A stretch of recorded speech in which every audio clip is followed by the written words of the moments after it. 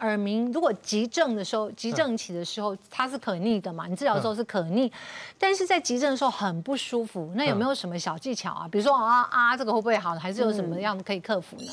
那你可以试一下，就是比如说，假设你身边真的没有其他东西的话，那也没有办法立即去看医生的话，那一般来说，我会觉得这个患者通常是在一个相对压力大的环境下，那这个时候我会建议你把手上的事情稍微结束掉之后。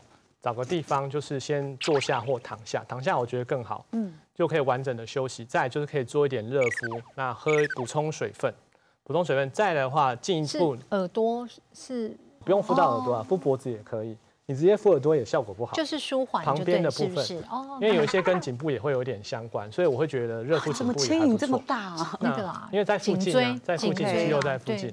那如果说你可以再去做一些细部的按摩的话，当然很好。